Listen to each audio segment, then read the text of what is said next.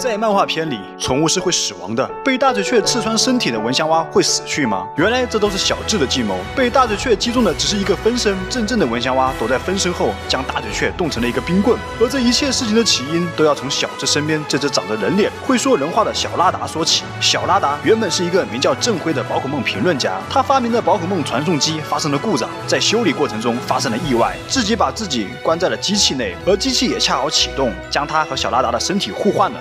附身成小拉达的郑辉只好一个人在野外生存，而路过的小智见了他的样子，以为他是一个新品种宝可梦，打算将他收服，却被大嘴雀横插一嘴，叼起小拉达飞走了。徒留小智在身后疯狂的追赶，但在地上跑的怎么能跑过天上飞的呢？最后还是依靠皮卡丘使用电击击中大嘴雀，让它从空中跌落，小智这才追上。众所周知，大嘴雀的脾气可不怎么好，稍作休整的他起身逼近小智，对小智和蚊香蛙就使出了战斗龙卷风，高速旋转的尖嘴直接将蚊香蛙花给刺穿。但是这一切都是小智设计出来的战术，被刺穿的只是一个影子分身。在小霞的调教下，小智的战斗技术越发的高明了。收服大嘴雀后，小智来到海。岸小屋在一番操作后，成功将郑辉从小拉达的身上分离出来，变回了人形。恢复正常的郑辉正式向小智介绍了自己，而小智也再一次的喊出了他的经典台词：“我叫小智，目标是成为最强的宝可梦训练家。”那么本集完，我们下期再会。